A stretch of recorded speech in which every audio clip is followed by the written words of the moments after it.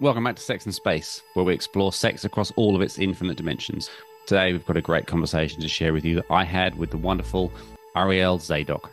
Arielle is a film and TV intimacy coordinator, sexologist, and the founder of the Sexy Directory. But just before we dive in, we need your support.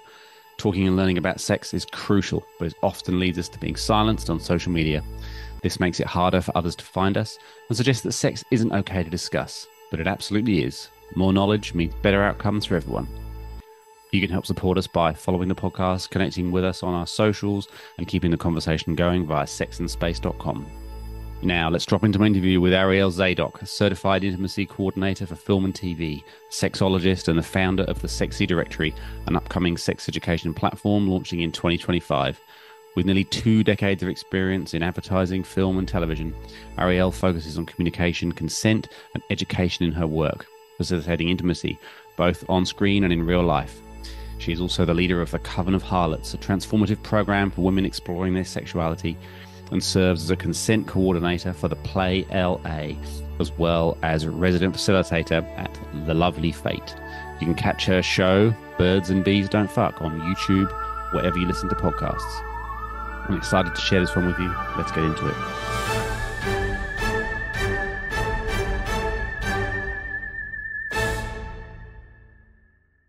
Welcome to Sex in Space. Thank you very much for um, sparing your uh, precious time.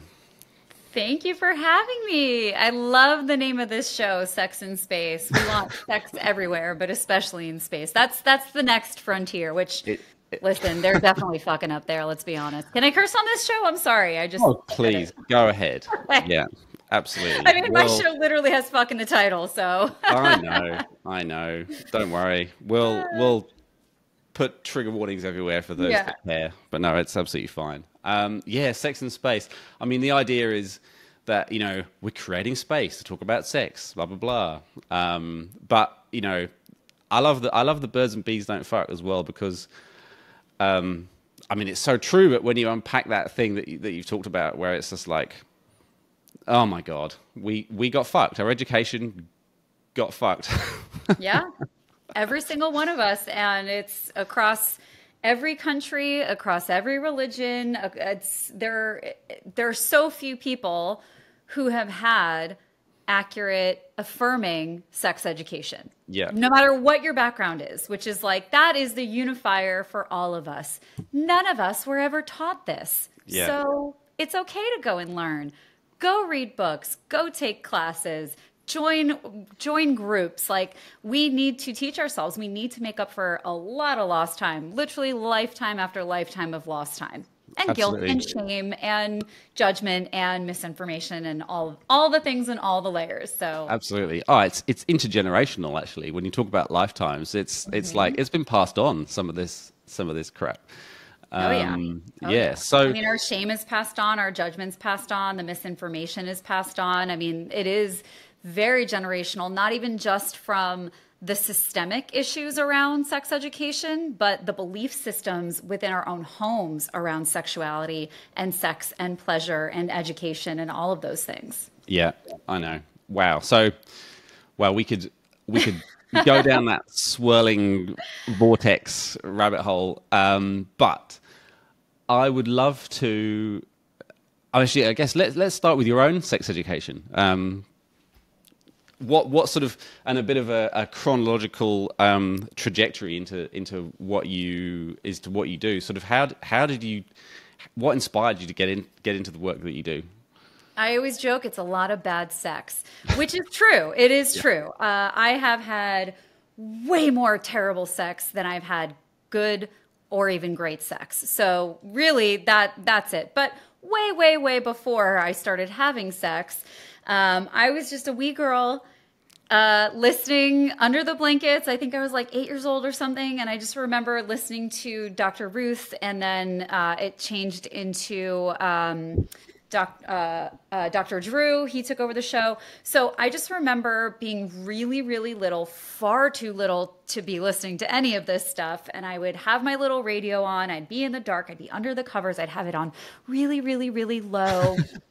because I didn't want to get caught, but I was so fascinated by all of the questions that came in and all of the different ways that people were engaging in this. And you know i knew what sex was because i had tv and you know kids kids are way smarter than we give them credit for. They know way more than any adults ever give them credit for. So i knew what sex was and you know and i knew all these things and i just found it fascinating and then there was another show uh, called Real Sex on HBO, and that was another case. I did we did have HBO in my family. I was very privileged to have that. That was like our one nice thing.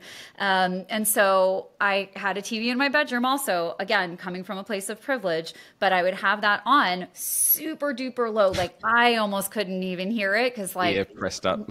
yeah, like my, I shared a wall, a bedroom wall with my parents. This would be like early, so they'd probably be off in the kitchen or whatever. But like my dad has the best hearing; he would hear everything. I'd be whispering he's like, Can you keep it down? I'm like, What?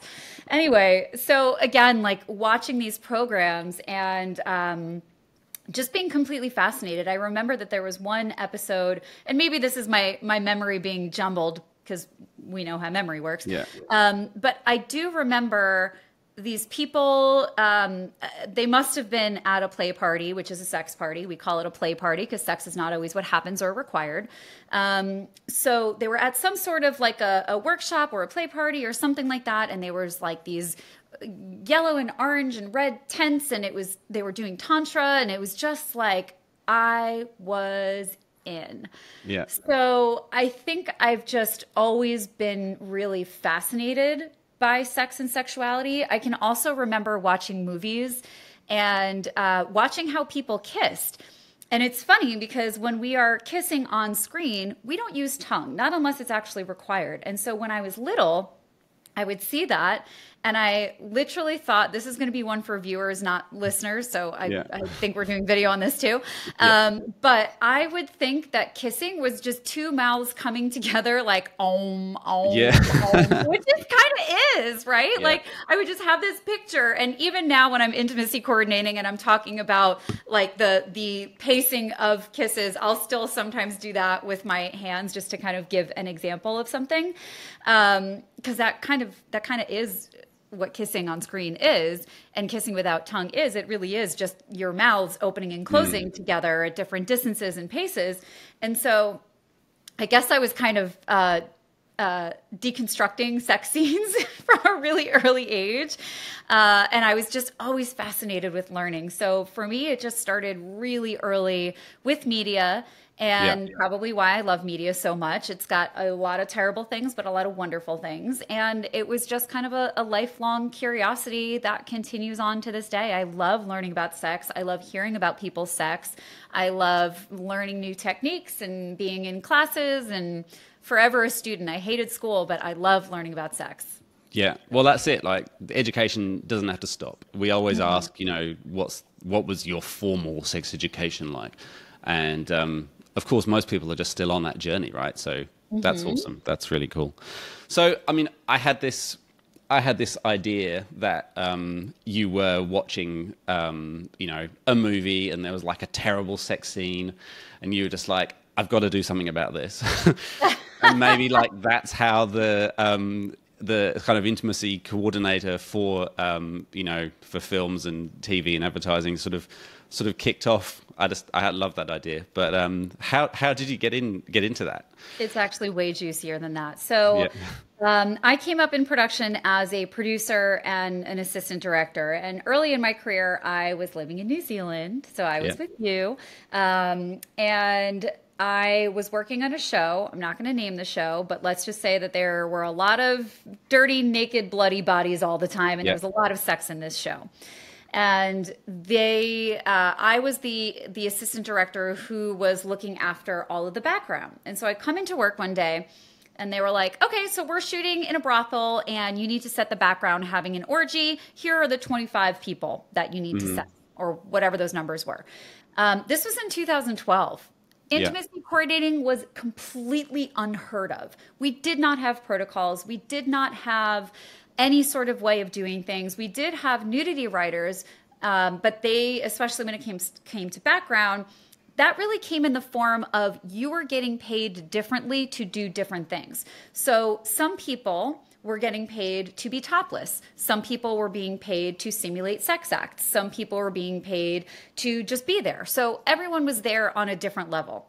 Yeah. And so I had about um, probably maybe two hours at the top of the day. I think that's being super generous because it was uh, everything is already set. We we don't have to like come into a new location and set everything up. So probably less than two hours. I don't know what the timeline was um, to figure all of this out. And so I just intrinsically knew I need to come up with protocols. I need to come up with all these acts and I need to make sure that everyone is consenting to what they are doing. So I separated by genders. Yes, that's very binary, but at the time that's the those were the tools that we had yeah. or that I had.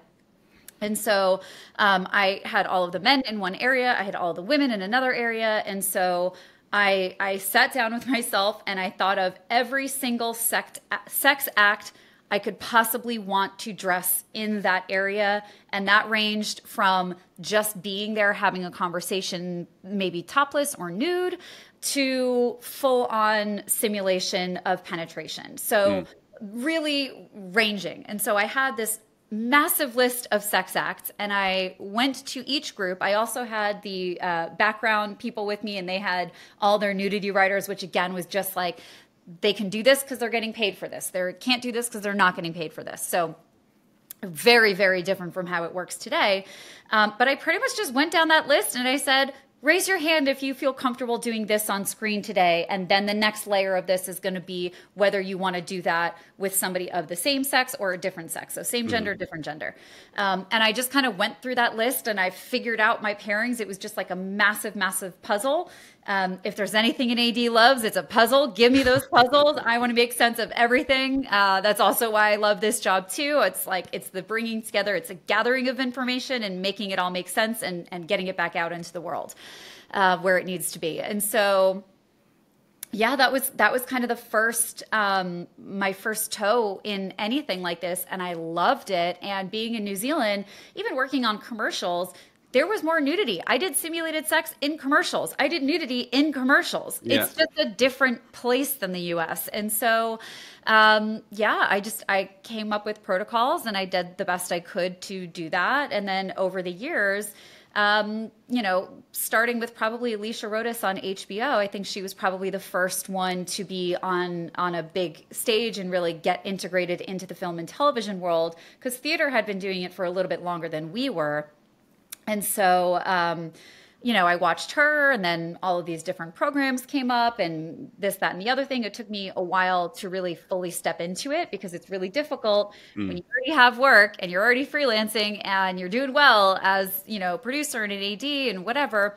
Um, you know, it's a little bit difficult to take that risk to turn down stuff that was paying my bills to literally beg someone to hire me to do this job that wasn't a job. And you know it was, it was a really um, it's it was an interesting path but now i'm in a place where i'm i'm just intimacy coordinating. I'll ad every now and then. I, I got a call for a job this morning. Yeah. so i'm still doing a little bit of that. But um, yeah it was just um, i don't know one, one at a time. That's so cool though because i mean i guess like you said it the world's changed a lot since since then. But but if this role has um, you know also also kind of evolved, I'd be interested in like that trajectory as well because it. I mean, there's obviously there is the there's the coordinating with um, you know actors and directors and trying to um, you know obviously pr- produce a vision with with people and consenting adults and and all that kind of stuff.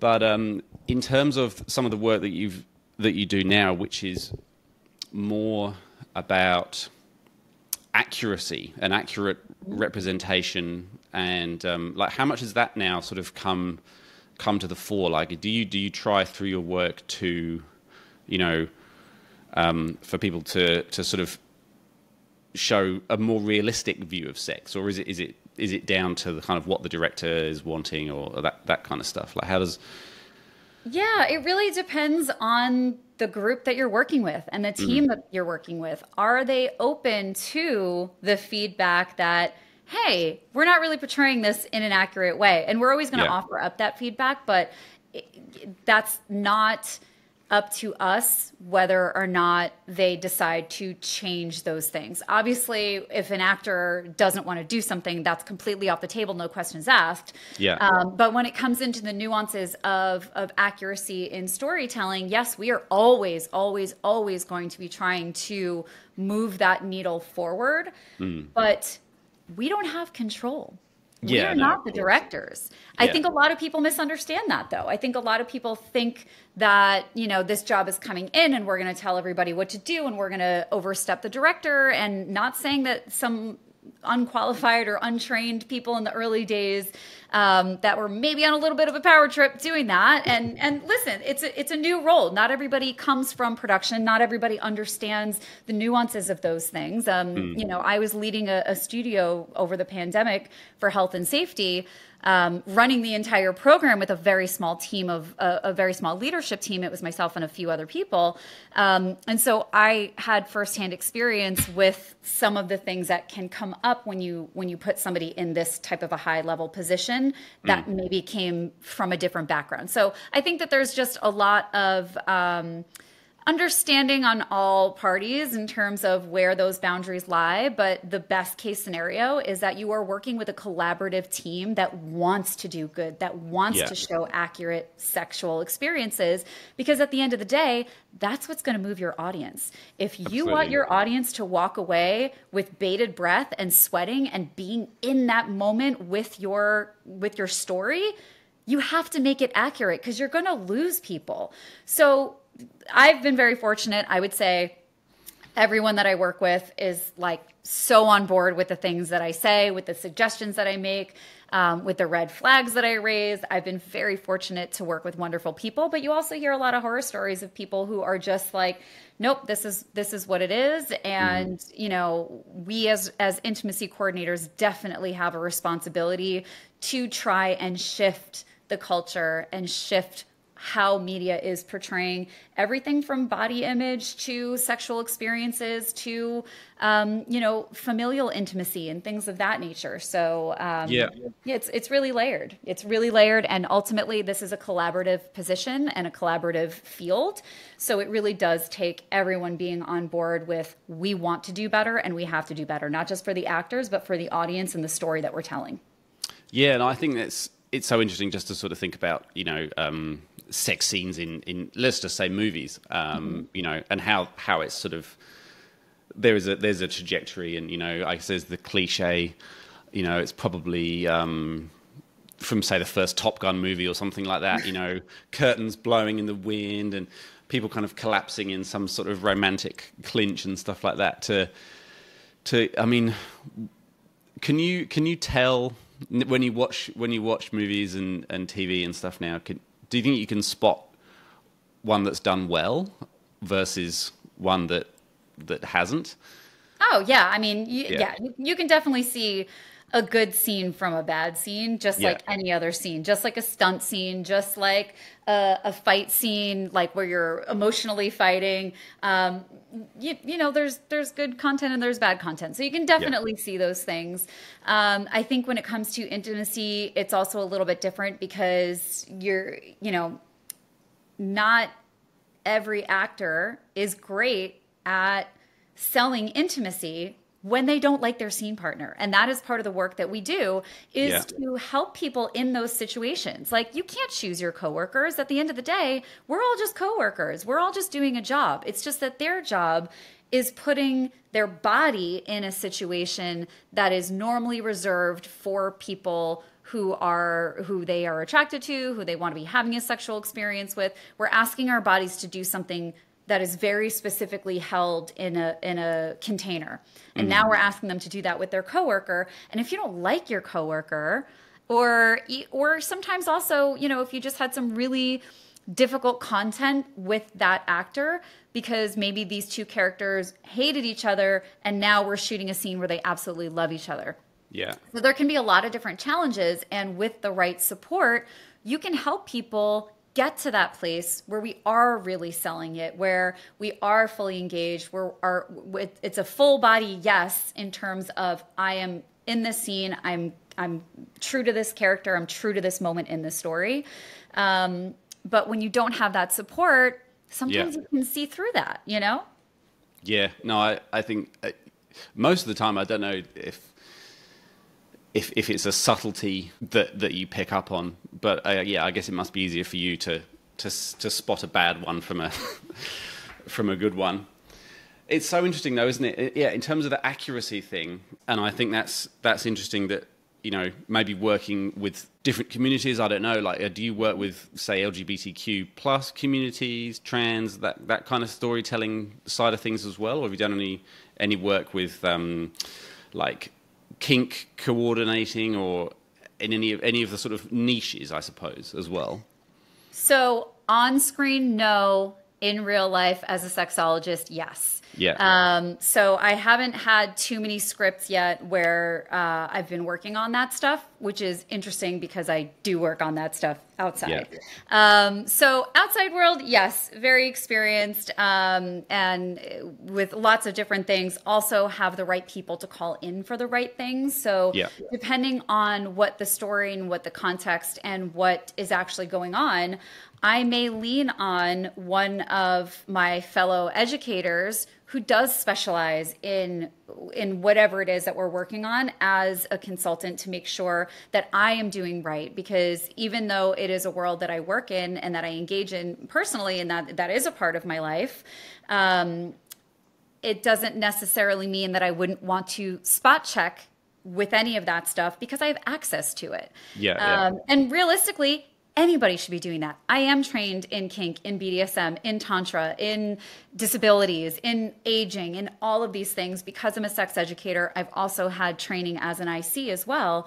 But very much, I believe in if you know someone who ab- like that is their life day in and day out and they absolutely specialize in that thing Yeah. then hire them separately the production the production sure they should probably hire them but you as a professional like me as a professional I just want to spot check with one of my friends, like with one of my professional friends that is a professional dominatrix or teaches. I have a, a great friend um, who te- all she does is teach kink classes. That's it on every topic you can imagine, as long you know pertaining to kink. And I have several friends like that. So you know that's something that um, you want to lean on all of your resources even if you're the one doing the job um, as far as accuracy is concerned especially if it's not a world that you are in like the education is one piece of it you can be trained in something but it is so important that you are actually going to people within that community to make sure like a, a leader in that community not just like hey i've got a kinky friend let me ask my kinky friend no Yeah. I'm talking about a professional, um, especially when it comes to anything that is under the beautiful L- LGBTQIA plus rainbow. You don't want to go to your gay friend or your trans friend or your uh, pan friend or your asexual friend and be like, "Hey, is this how it works?" That is inappropriate. Please don't do that. Uh, go to a professional. Go to a sex educator that specializes in that area. Yeah. It's so interesting though. I think that the um because it's because what you're sort of talking about here ends up in ends up in culture, right? So, you know, you're talking about movie scenes. I mean, one that sort of popped into my head was maybe Brokeback Mountain, right? Um, you know, great great movie, but because it because it entered, you know, the mainstream, um, you know that that's where that's where sort of certain things, yeah, like accuracy of either storytelling or, or you know those those sorts of th- factors. Um, I think interesting to do really well, and that that sounds like exactly it's the sort of the sort of work that you're doing is to is to try and be as authentic as possible because you know it's a runaway train of misinformation. Otherwise, mm-hmm. that's Yeah, That's the and not only that, and by the way, Fifty Shades of Grey is a perfect example of that. That whole movie is completely problematic. It's abusive. That is not how BDSM works. That is not how a Dom sub relationship works. So, like, mm. red flag, red flag, red flag. Got to say that out loud because that's Yeah. just, you know, people really clung on to that. And that was written by someone who was not engaging in kink, who does not understand that world.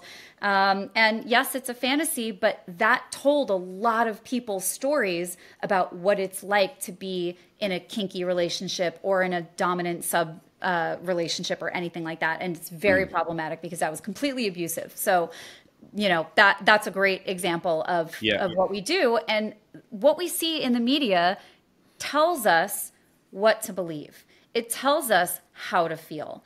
It shows us examples of ourselves or our fantasies and how people react to that also matters. So when we see something like Brokeback Mountain and we see so many people being so freaked out by cowboys fucking, oh my God, there are men who like men who also are cowboys who are masculine. Unbelievable. Yeah. Like, no, that's just a part of being a human being. There are yeah. so many masc gay men and they're wonderful and beautiful. There are so many gay cowboys. Like this is just life. There there are people everywhere that are into everything. So um, you know, we do have a responsibility as anyone in the media, not just intimacy coordinators, but anybody who is creating media, we have a responsibility to the overall culture because our culture comes from media. So if we are putting out inaccurate messages like everybody comes from penetration or yeah. sex lasts, you know, you're making out and then you're fucking, like granted i know we only have so much time to to shoot a scene and sometimes we kind of have to do that but within that we can do different things, at least for the kissing part, to mm show a little bit more accuracy. Because again, intimacy coordinators can't change everything, but we can impact things.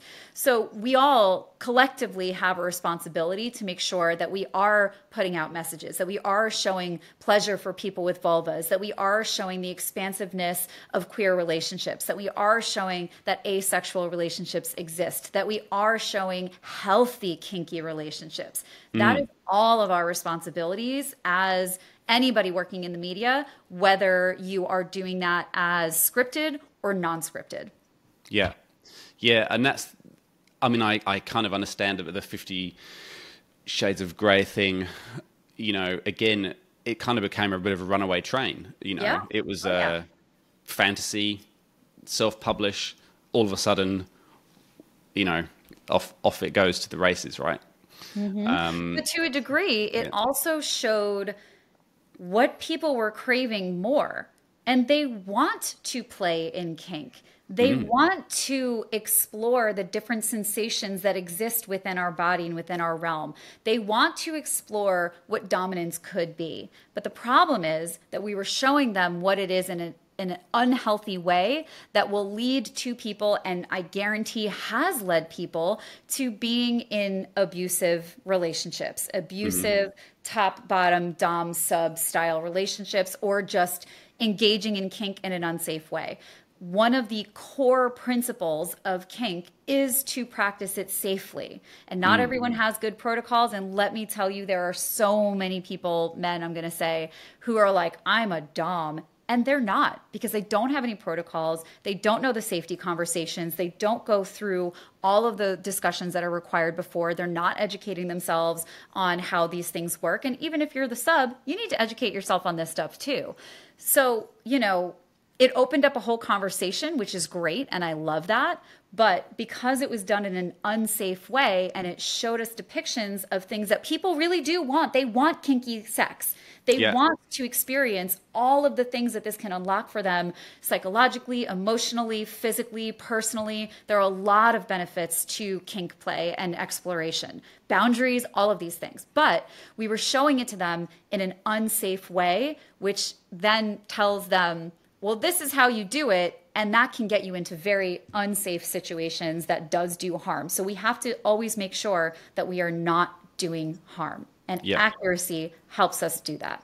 Yeah, no, I thought they really missed a trick. Really, I mean, having since talked to um, talked to sex workers who who deal deal with you know kink and all, all sorts of things. Mm-hmm. Communication and consent are like the the yeah. two massive things. And I mean, what an amazing takeaway for like just the rest of your life as well. Yeah. um, and not coerced yeah. consent, by the way, because what they yeah. were showing in that movie was coercion. That was not right. consent. That was all coercion. It was all forced. It was all coercive. There was no, that was not a negotiation. He literally just gave her a piece of paper and was like, sign off on this. You're signing everything away. I control you now. That is not how it works. the dominant is there Yeah. to create experiences for the sub. It is a co-creation. We are talking about our desires. We're talking about what do you want to try. We're we're working through what level do you want to feel? Okay, I'm going to start at a two. I'm going to start at a one. Do you want me to go harder? Do you want me to go softer? It's conversations, it's ongoing consent, it's check ins, it's aftercare, it's all these things that make it safe because the safety is the foundation for all of this stuff. On set, in real life, safety is the foundation because when we feel safe, we can be expansive. So uh, let's expand on that one then. So talking about problematic misinformation in the mainstream, is there intimacy? Does, the does the intimacy coordinator role exist for pornography? Yes. It Yeah. does. Yep. And so, like, in terms of you know some of the sort of narratives that have, um, you know, probably been brought forward in culture and and you know now now seen kind of more mainstream um, that you see in porn a lot. Is is there any of this sort of same same work being bought brought into the porn industry? Like So um, I- trying to show more realism, or Yeah, so I don't work in adults, so I can't speak to it necessarily on that level, and I want to be uh, very Yep. transparent about where I where I am. Um, but I will say that um, Erika Lust, I don't know what year she really started, but she kind of started um, feminist porn and Yeah. ethical porn. And so we are moving in a space where we are seeing more self-created porn. Make Love Not Porn is a great resource for that. So- yeah, That's very uh, yeah, Cindy Darnell. Uh, no, sorry, is that her name? Cindy I don't know. Gallop. Gallop, Gallop, Gallop. Yeah, I'm, I mix names sometimes. Um, but so um, yeah, so Make Love Not Porn, um, great resource. That's all self-made pornography, self kind of um, similar to, to OnlyFans in that it's it's creators doing it for themselves. Um, you've got companies like Erika Lust. Um, you've got other companies, and so what we are seeing and what we have been seeing for like the last decade or maybe 15 years, I don't know. I feel like time just flies, so maybe longer than that.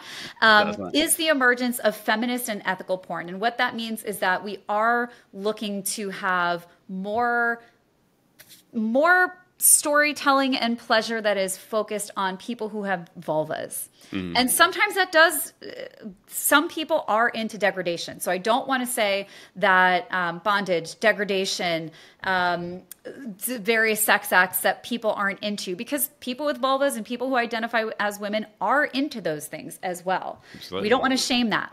That is totally valid. If that is what you're into, let's go. Do Yeah. it. Love it for you. But what we are seeing in ethical and feminist porn is that there is more accuracy in the storytelling, that it is done in a way where all performers are fully consenting. Oftentimes, they are getting to choose who they work with. So, unlike in uh, mainstream media where you don't get to choose your scene partner, in pornography, you do. You get to change. You get to choose your scene partner. You get to choose your boundaries.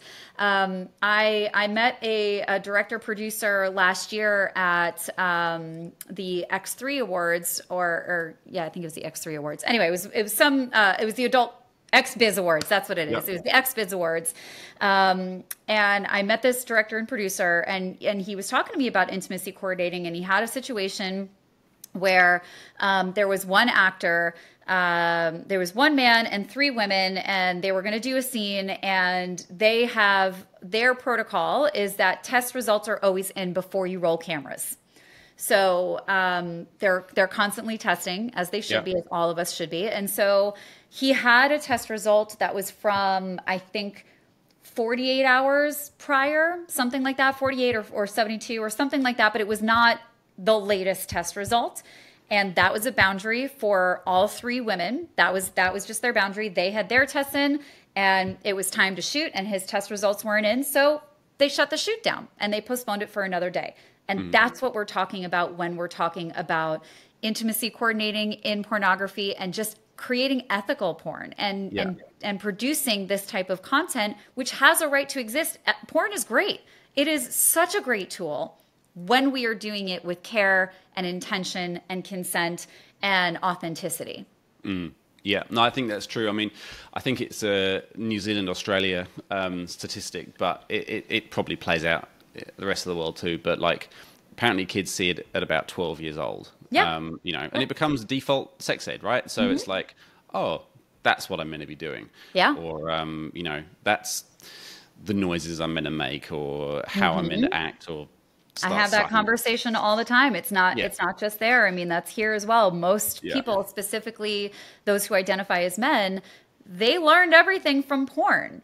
And Absolutely. and women, people who identify as women, um, they see how they're supposed to react to porn and they see oh penetration i'm supposed to go crazy for penetration and and now we're not advocating for what actually feels good and for most people with vulvas penetration ain't it. Certainly yeah. not by itself. And yeah. so we are learning so much misinformation. And again, like, I don't want to say that there are not sex acts that are happening in pornography that people with all body parts really love and enjoy. I think, again, like degradation is a good example of that. But it's how we are doing that that matters. It's how the performers are treated on set that matters. Yep. It's what the content is. Because for some people, and degradation is just kind of an easy one because I think people can understand being spoken down to and, and yeah. being called like a little slut or whatever. For some people, I know many people that are like, ugh, I fucking love, love that. I love yeah. it but it has to be done ethically and consensually. And by the way, saying ethical is is a slippery slope because ethics means something different to everybody. So mm. it's that confident yes, it's that consenting, yeah. informed, confident yes. Um, there's a place for all of this, but how mm. we do it is what matters. Yeah, absolutely, and and that the fact that it, uh, you know, becomes that that default education when we don't mm-hmm. have the kind of conversations like we're having now to educate people on oh hey you know this is performative for want of a better word yeah. or this is uh, meant to you know be erotic but not to educate as such. So um, absolutely. you know it's not a good tool. It's yeah. not a good tool. And then there's a lot of unlearning that has to do. And then there's a lot of labor that people who identify as women go through and people who have vulvas go through because they are often doing the work. Mm. People who are are um, LGBTQIA plus, people who have vulvas, people who are non-binary, which you know LGBTQIA plus covers everybody, but it's worth saying out loud. Yeah. Um, oftentimes, we are the ones who are educating ourselves because we have felt like we're broken. We've had bad sex. We don't understand what's wrong with us. And we just want to know more. We know mm. that there is something that we can learn more about. So we are educating ourselves. And then you have most men that I speak to, specifically about sex education and where did you learn things, their answer is almost always, oh, I slept with an older woman. Oh, this one woman. So we are putting the labor of pleasure completely on women in cis straight dynamics. Yeah. That is a problem. Yeah, if absolutely. you don't see a problem in relying on the woman that you're sleeping with to teach you what works, I don't know how to help you because that mm. is a problem. Like that's that we need to start there. You cannot learn everything you need to know about sex from your one partner. You can learn about their specifics, you can learn about nuances of their body, but you got to come to the table with information. And that's where the sexy directory comes in. That's where conversations like this come in. That's where all of these other tools and resources. There are so many great books. Read Come As You Are. Everybody needs to read that book. Always going to plug that book. That's like the first thing I tell everybody to do. Um, but we have this cultural issue where the labor of pleasure is on women, and it's a mixture of everything being learned from porn, of not normalizing sex education, and shame and ego. Mm. But if we can break past that stuff, then then you know, then we're not putting the labor of pleasure on women.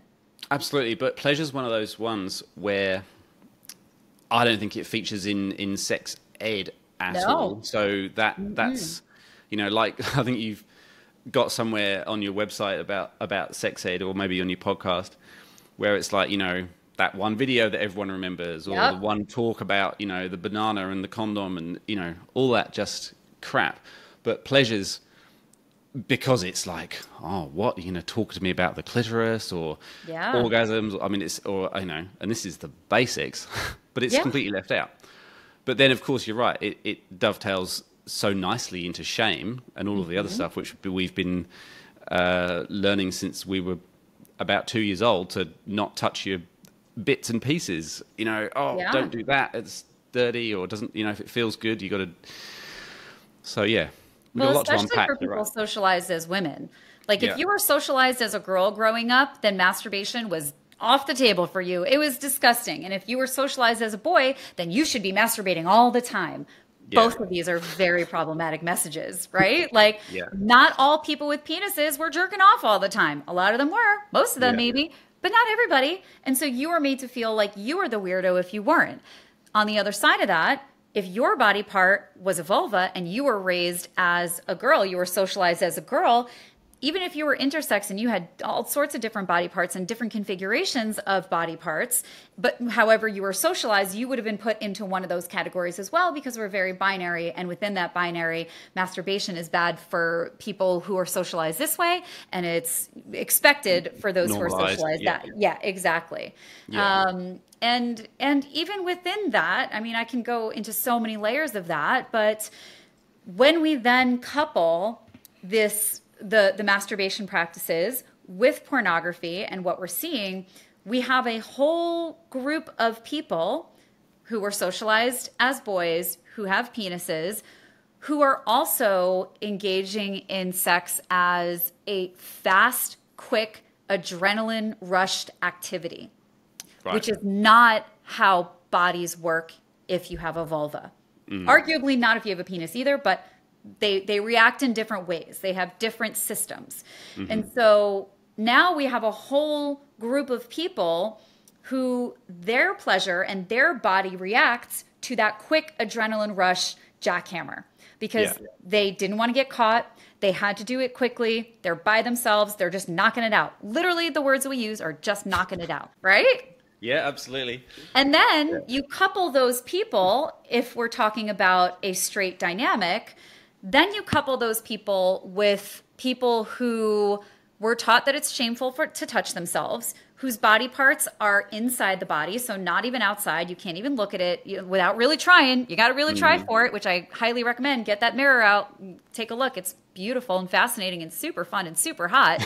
um, but you know, you have this whole other side of the coin if we're talking about two people in a hetero dynamic.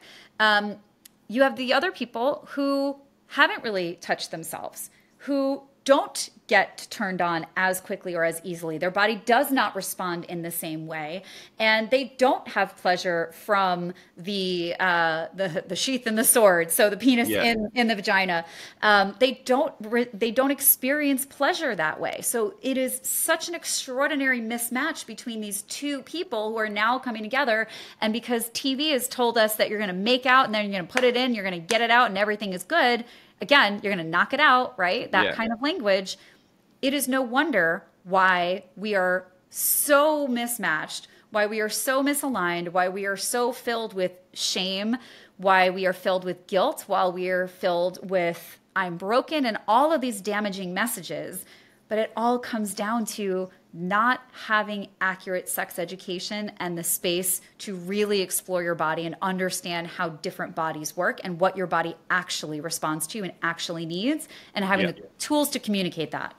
Yeah, no, I, I completely agree. I think for me, I've just noticed it's like it's two things, right? Because I've got young children, um, that it's education for me, Yeah. and then, then it's the education that I'll be passing on to them, and they will also have. So it doesn't fit in a nice, neat box of a formal education. It's a complete, it's a complete thing. There's the culture, there's the family, there's, and then there's the the, the more formal stuff. But um, yeah, it's it's going to take a while to to unpack. Um, well, that sounds like you're doing a doing a great job um, of, of at least you know championing the cause. Anyway, um, We're all out here trying to do it in all of our different ways. And it's so Yeah. important that all of these different shows and books and programs and courses, and it's so important that all of these things exist in the world and that we have so many different voices that are delivering these messages because. two or three or five people can teach the same exact class and different people are going to receive that information differently. So you are doing a great job here by having these conversations and yeah. we we learn from all different sources. It's not just one thing and that's not just for sex. That's everything in life. We are not you know, even take math. Like you're learning math in so many different ways. We think we learn math in a classroom. Sure, you might learn some basics, you learn yeah. some foundation, but then think about all the different ways that math shows up in your life and all the different ways that you have learned to navigate numbers in different contexts. Yeah. Why are we looking at sex education any differently? We are learning yeah. in all different contexts from all different sources at all times. Amazing. Well, great pitch for the sexy directory, I would say. Yeah. unpack this is the new the new project, is that right?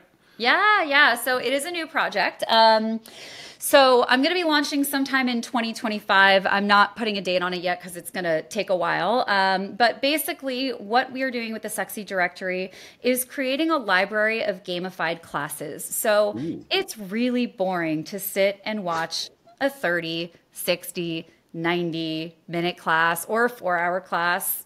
Uh, I don't think I'll ever have four hour classes, but it's very boring. I have ADHD. I love this stuff. And in all of my self paced classes, it is impossible for me to get through some of them sometimes, even though I'm so, so, so into it. Um, so, what I'm doing with the Sexy Directory is bringing experts from all different corners of the sex education world, from kink to uh, emotional intelligence to female orgasms to um, erectile dysfunctions, like just all of those things, which is not a dysfunction, by the way. It's just your body being totally happens. normal, being totally normal. um, but my goal is to bring a whole bunch of different experts into one place to take the overwhelm out of finding resources. Just mm. come to the Sexy Directory. Let's find you what you need. And the, the courses are all gamified. So they're all broken up. You're earning points, you're having exercises, it's interactive, so it keeps people engaged.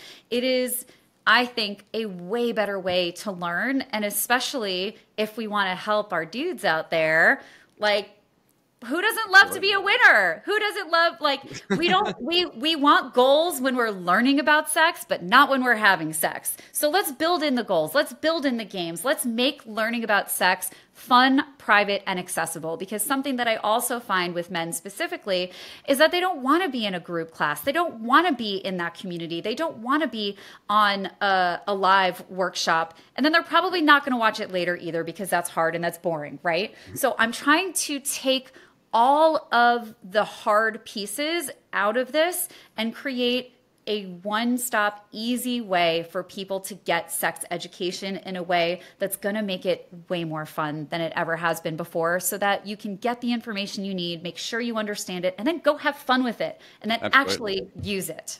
Yeah. Oh, that sounds great. So, a real broad spectrum, anything that people might be curious about or anything that they think they want to know more about or maybe missing out on. yeah, yeah, yeah, exactly. And by working with different experts within the field, it's not all on me. I I used to like initially I wanted to do this myself and like I honestly don't like putting classes together. I just yeah. don't. I love doing this. I'm a producer. I love pulling things together. I love helping other people. And so it just kind of clicked with me that I was like, wait, I don't have to teach everything. I'm not an expert in everything. Yeah. What I am an expert in is pulling shit together. Yeah. So let me do that. Let me lean into my own area of expertise so that I can build this platform not only for the people who are needing to learn more and wanting to learn more and not knowing who to go to, but also for all of the incredible, incredible, incredible experts and leaders that are already in the field. Let yeah. me put them into one place so that the person who doesn't follow them all on Instagram, who doesn't necessarily listen to these podcasts, but maybe just stumbled upon a video somewhere, or maybe they stumbled upon me on a podcast or something like that. And now they have a pathway to find all of these incredible people. And if they want to go do more work with them, great. This yeah. was your entryway. You don't have to rely on social media that that shadow bans us and kicks yeah. us off their platforms. And yes, it's going to be a tricky thing because I am going to have to lean on those platforms to kind of get the word out. That's that's marketing challenge, but. Yeah at the end of the day, I want to make it easy for people to find the educators that they want to learn with and get the information that they need to have and do it in a way that they're actually going to retain that information. Yeah. So that's that's Wow. what we're doing with the sexy directory. Awesome. Um, hey, let's. Where can people find you? You've got so much going on. Where can people I find know. Um, you? So the podcast, Birds and Bees Don't Fuck. Sexy Directory, there's a URL that's coming out 2025. Well, the best thing is honestly like get on get on my mailing list when I'm when I have something to share. I share it. I don't uh, Yeah. do a weekly anything. Um, I took a pause from Birds and Bees, but there are a lot of episodes for you to listen to. Um, so yeah, I mean, if my website is probably the fastest, the easiest thing to get you to everything because there's links for everything there. Yeah.